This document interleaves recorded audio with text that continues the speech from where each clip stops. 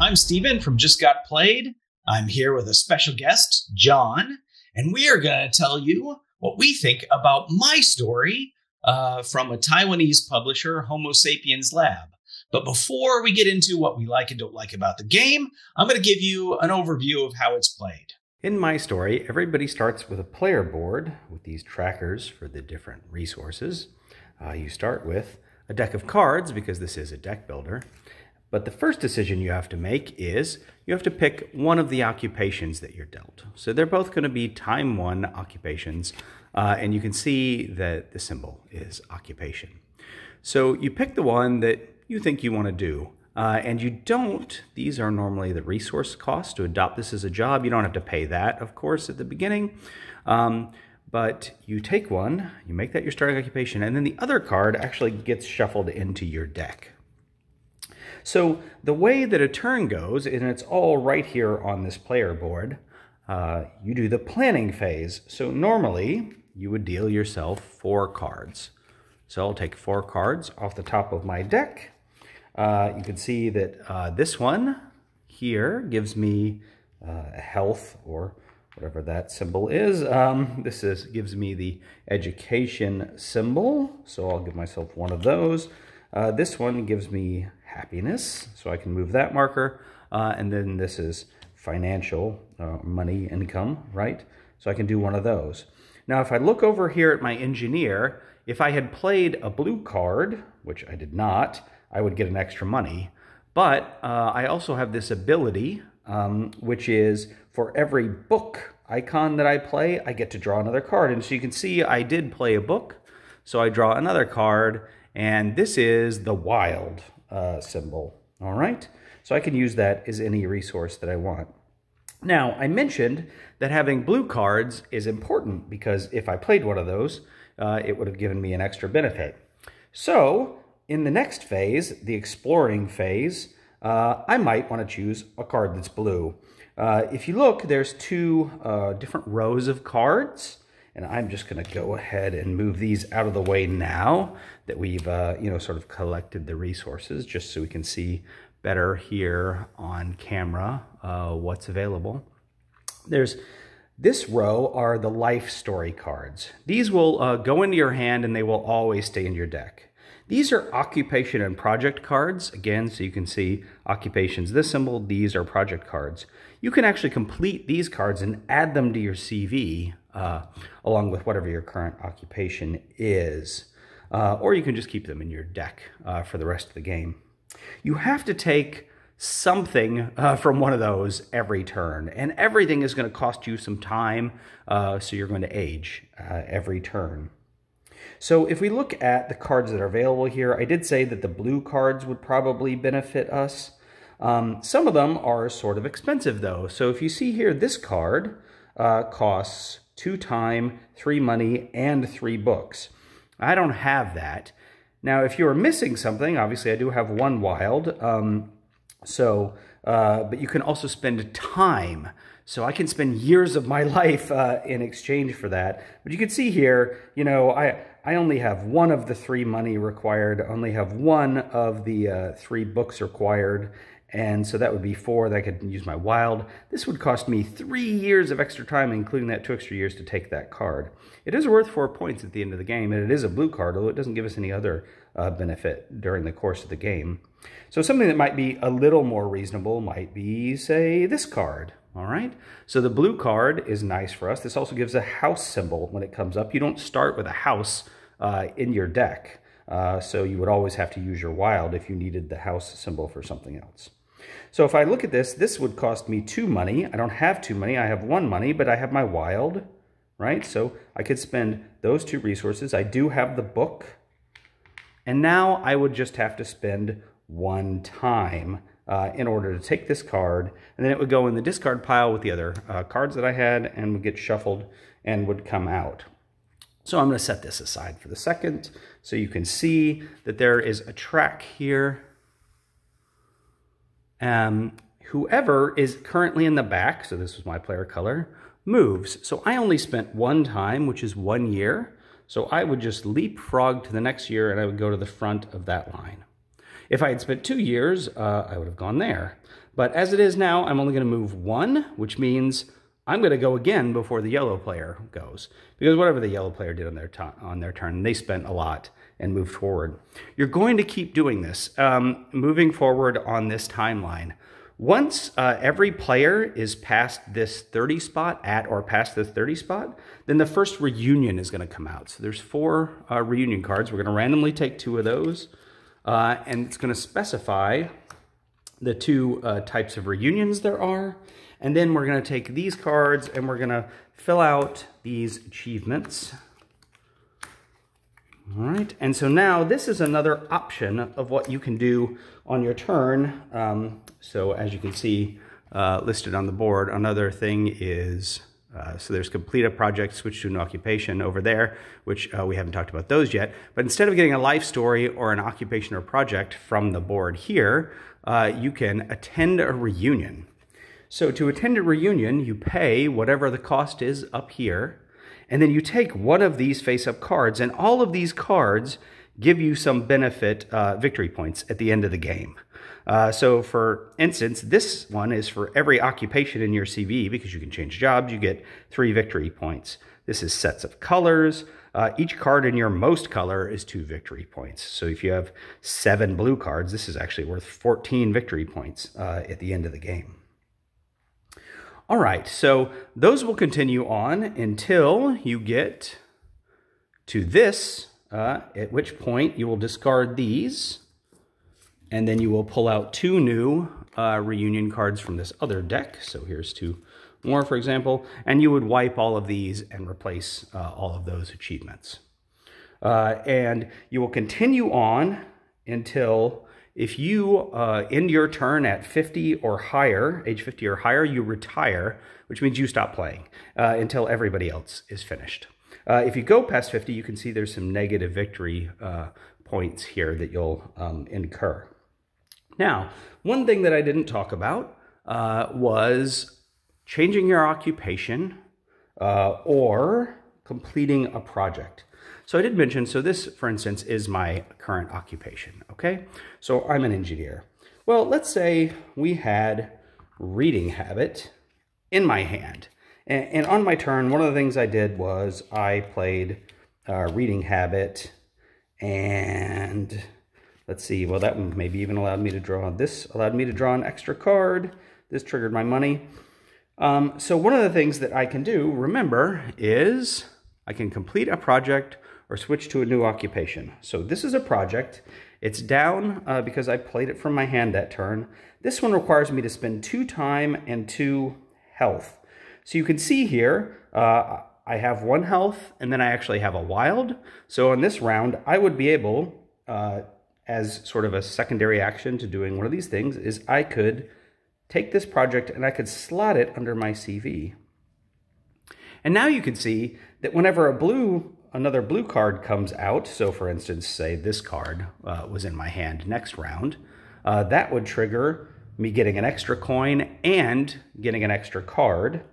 Uh, and then the same thing if I had a green card that I played, like perhaps this was one of the cards in my hand and that one came out, uh, I would get uh, an extra card. Now, if both of these came out, it wouldn't matter. That would only trigger once. If I had multiple blues, it doesn't matter. This still only, these only trigger once. Um, so you could do that with project cards. Now, if you want to change your occupation, it's a lot like completing a project. You just have to pay what's here. So two time, uh, three money, uh, and a book can allow you to change your occupation. So I could change from being an engineer to being a lawyer. I still leave this down here, so I have that benefit.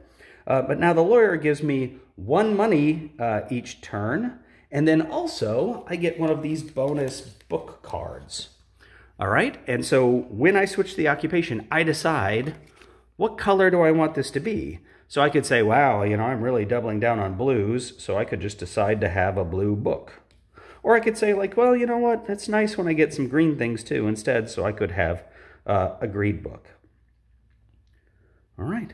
And so again, you just keep going on until you get uh, to age 50, and then you add up all your scores. You'll get points from a lot of different things. Uh, so you could have uh, completed project cards are worth points. They're not worth uh, if they have the point symbol on them. They're only worth the points if they've been completed. Uh, cards, life story cards in your hand are worth points. Achievements can be worth points. Uh, you're going to add up all of your resources, and we like to do this actually on the player board uh, just for to make it easier to count. But you could add it up and say like, well, I have four health or three um, houses in my entire deck in CV, and then whoever has the most of each of those gets five points uh, and two points for second place. Uh, you can lose points for going over age 50, and then you total it up, and you see who got the most points. And then, of course, you can also, you know, tell an interesting story based on your CV and deck if you want to.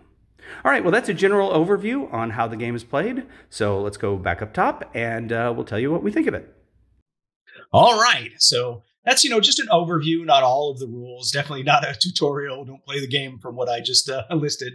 But uh, that is basically how my story works. So, all right, uh, let's just kick it off with uh, what we like about the game. So, Jon, why don't you tell me what you like about the game?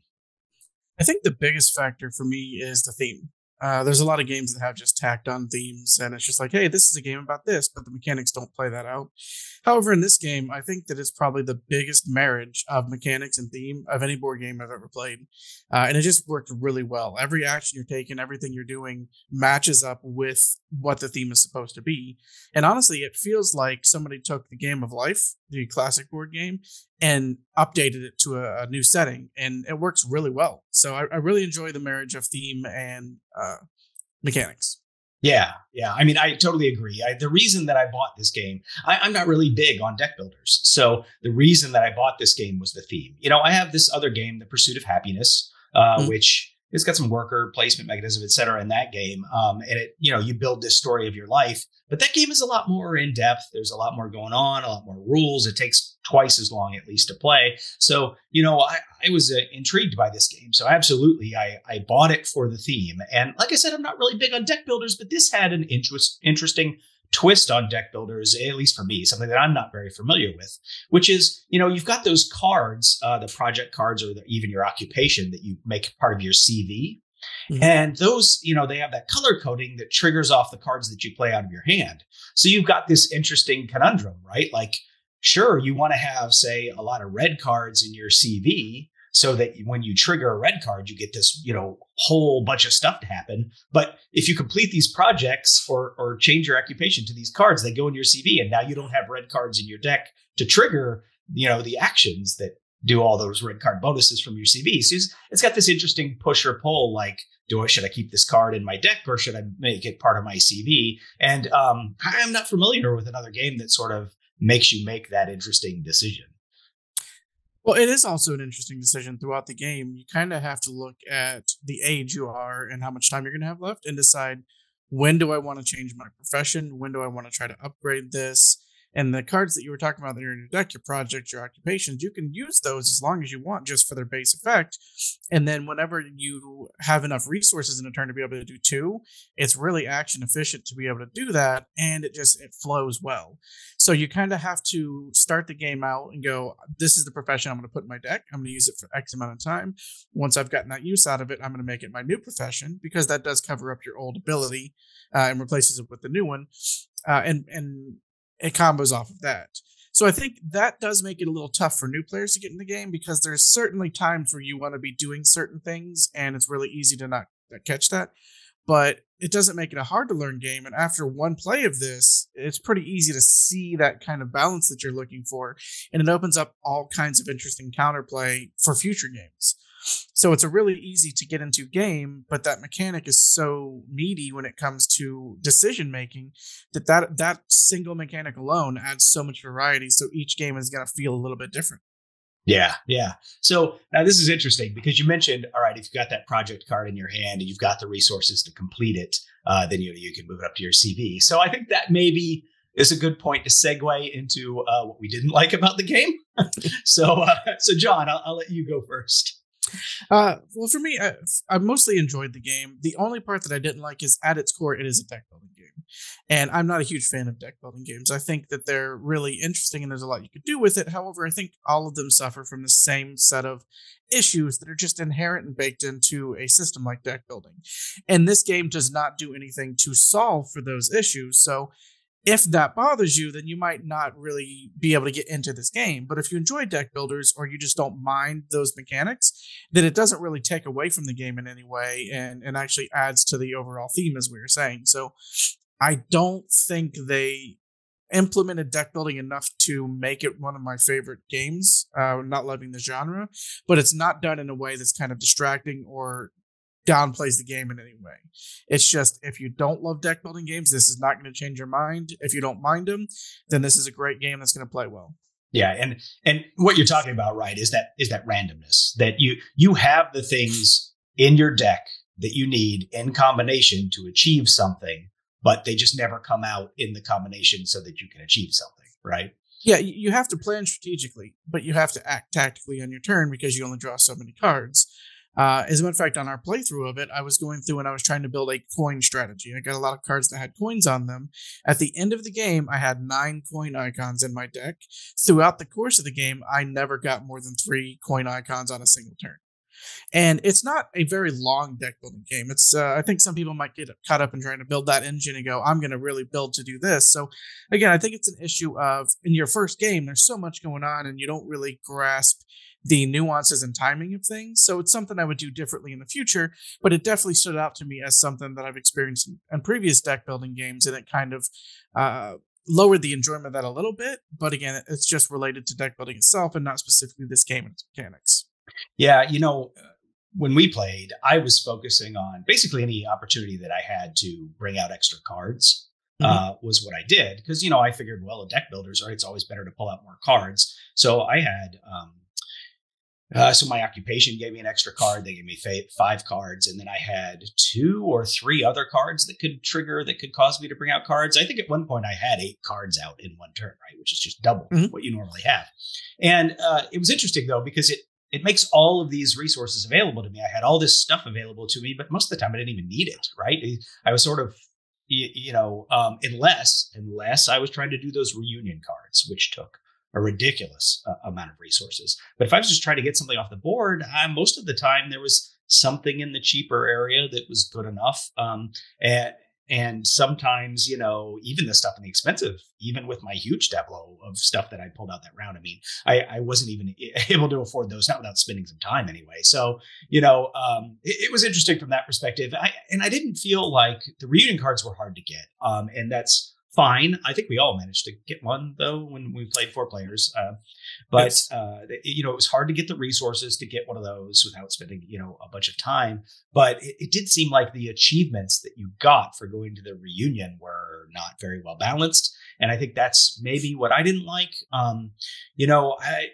I let's see. I I took one card and it was only worth four points to me. I thought it was going to be worth eight, but then somebody took that marriage card that would have helped. And um, uh, you know, somebody else who played with us had one. I think it was worth nine, but I got one that was it was two points per uh, card that had my most common color on it, and I had seven red cards. Right, that was fourteen points. That's mm-hmm. that's a lot of points, right? Uh, I don't actually remember what our final scores were at the moment, but 14 was a large portion uh, mm-hmm. of it.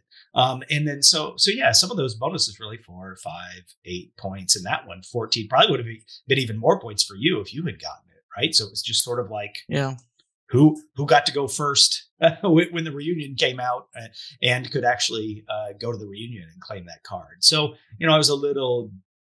Uh, and maybe maybe with more plays or something, I, I would see some nuances I don't see here. But yeah, it does seem there's a little bit too much luck in. Well, I, I got the good achievement card before you got a chance to get it. Sure, and and there was a lot of disparity. I got a card that was worth three, uh, you had one, I think it was worth four. The winning player had two. One was worth five. One was worth 14.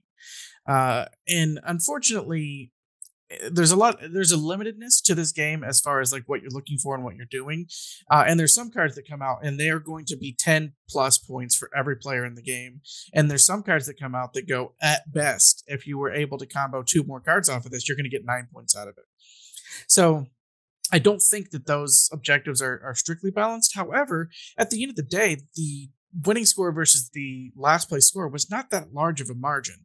So while they were doing that, other on your turn, you you may not necessarily get a reunion card, but you can get other things and do other things and get other points. And again, I think it was because our first playthrough, and I think there's a lot of this. This is a deep strategy game, even though it doesn't appear to be on its surface.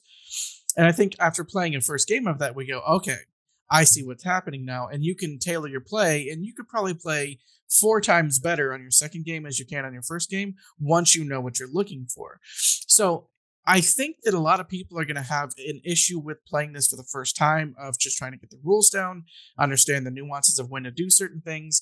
Um, and then they might feel a little bit of the sting of the the randomness in deck building games. However, I feel like it's so well designed that on a long enough timeline, you play it two or three times, you're going to catch all those nuances, and a, a, group of people who are all on the same level of knowledge about this game are going to have a really directive game where they're all fighting for points, and it may be a couple of points separating first, second, third. Um, so all of my issues, especially the deck building element, are addressed when you know more about the game and can be built around. I shouldn't have built nine coins. That wasn't the right idea. It didn't come up. Uh, and in the future, I would change that. And I think that you're able to mitigate a lot of that randomness when you know specifically what you're looking for and you're not wasting actions buying cards that are giving you diminishing returns. So it's a little bit clunky on its first playthrough, but even then, you can see the beauty of the design behind it. And it's a game where you go, okay, I want to play that again, and here's what I'm going to do different with this, this, and this. And those kind of games are ones that elicit uh, the most reaction from me because it does keep your mind thinking like, oh, this is what I want to do differently, and and you know every game is going to feel different because of that. So definitely yeah. challenges. Yeah, I mean, and and like I said, you know, I felt the achievements were particularly balanced, but you can't build to an achievement card either since you don't know if it's going to come out or not, right? You can't from the get go say like, well, I'm just going to collect red cards so I can get that one achievement card, and then you know, uh, because one, you don't know what the cost of the reunion is going to be, right? You don't know if the one mm-hmm. that's going to come up takes three houses or not, because houses you know, houses aren't normally used to buy like the other resources to get uh, life story cards or project occupation cards. So, like, do I need houses or not? I don't know. Is that reunion going to come up? So, you know, you, you don't know what you're going to need to be able to go to the reunion. And then you don't know what achievements are going to come up. So, you can't build to say, like, well, I'm just going to get a lot of project cards so that when that one that gives bonus uh, victory points to project cards comes out, I'm going to grab that one because, hey, maybe it's not going to come out at all. Um, so, um, it, it, it is nice to know what some of the options are and what's in the deck. I mean, that does give you an advantage, but it's not like a huge advantage because you, you know, every game's going to be different. Sure, and, and I mean, not as much as an advantage, but as more of a any of the issues that I have, a second playthrough, you can generally prepare to avoid most of those. Um, and even to your example, even if you plan ahead and get lucky with what you uh, built towards to the reunion, you might not draw it on the turn where it's relevant. yeah. Uh, and I'm not a fan of house rules in almost any game, but I feel like one rule you could change in this. So what happens is you draw the first set of reunion cards at 30 and then at 40 you draw the second set what you should do is you should start the game not with the actual projects face up to know what they are but the cost should be face up at the beginning so you know what you're building toward and then when you hit 30 you flip the second set and go this is what these are going to be so that you do have a little bit more deterministic uh, chance to build toward those things. I think with that one tweak and on a second playthrough, 90% of the, the troubles I had with the game are resolved, and then really you're just hoping you don't get extremely bad RNG over the course of a long game. Yeah. Um, but those are prevalent through that first playthrough, and there it's always going to be a little bit of that because of that deck building element. But it is something that, that I think just a little bit of effort you can avoid, and I could really see this being somebody's favorite game. Yeah. Because it does have a lot under the hood. Uh, the theme, the look of the game, the mechanics. Well, and if you love deck building games, this is a great one because it doesn't feel like you're just purely building a deck and going through the motions. There's a lot of decisions to be made and a lot of pivoting to be done. So there's a, a lot of things I like about it. There's a few things I don't like, but those can all be mitigated over time.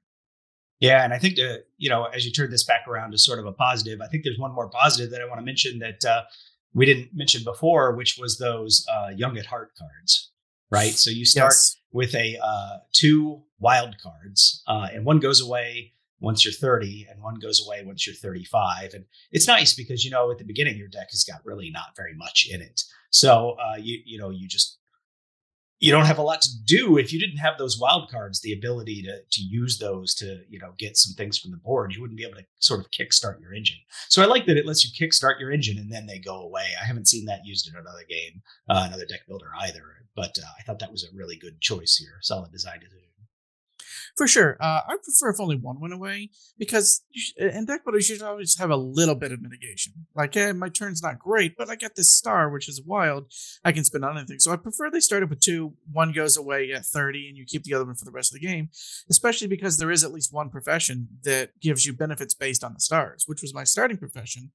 But when I played the stars and got rid of them, I, because it was my first playthrough, I didn't get another profession down fast enough. So my profession was essentially dead for, for several turns of the game, and I didn't pivot fast enough. Again, something I would do differently in the future, but uh, if you're going to have cards actually referencing those stars and you always want a little bit of that mitigation, I'd prefer if they start with two and then go down to one mid through the game. However, it's not the worst. You have two in the beginning and then they just both eventually go around, around mid game because that calls your deck. This is also another slight negative is that it doesn't give you the ability to call cards in your deck. And in a deck builder, if you're not able to get rid of cards that you don't want or what you would consider dead cards at this point, then you, you're more subject to that RNG. So it's an interesting concept. You take the wilds out, but it'd be nicer if you could take some of the other things out because there were certain points where I got to where I'm just like, I don't need crosses. I don't need them. I don't want them, but but they're in there, and, and it's essentially a dead card. also, if you buy point cards a little too quick, those gum up the works too. So again, all things mitigatable in the second playthrough, but definitely a little bit of a challenge to get through your first game and go, oh, it's halfway through the game. I've made so many mistakes I'm not going to be able to recover from this, but I know what I'll do better next time. Yep, exactly. So, uh, my story, uh, I don't think this ever received distribution in the United States, maybe not actual distribution in North America. I got it from a Canadian store. Uh, and I'm glad I did. Uh, I'm glad uh, that I got a chance to play it, and uh, I'm glad that I own a copy so I can continue to play it. So, anyway, I'm Stephen from Just Got Played. This is my special guest, Jon. And if you enjoyed this video, please give it a like. That is good positive feedback for us and it feeds the YouTube algorithm. If you have any questions about this, you can ask them in the comments below. Uh, or if you look in the description of the video, there's a link to our Discord channel. You can come over there and chat with us about games uh, or follow us on any of the social media uh, sites if you want, or hit the subscribe button here so you don't miss any of our videos. But until the next time, thanks for watching.